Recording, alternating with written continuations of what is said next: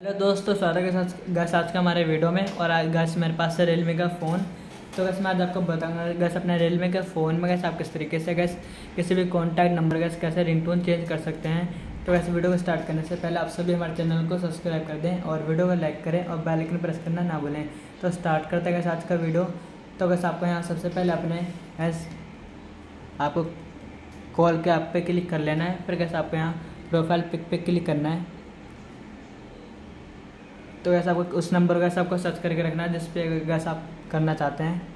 Gas gas call gas contact number को gas gas ring tone set करना चाहते sorry gas change करना चाहते हैं।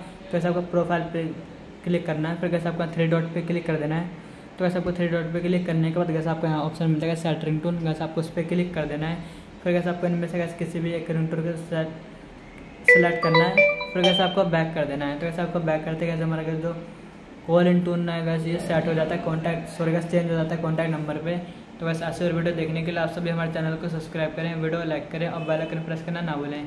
तो वैसे आप सभी से मिलता है नेक्स्ट वीडियो में, तब तक के लिए गैस सभी गुड बाय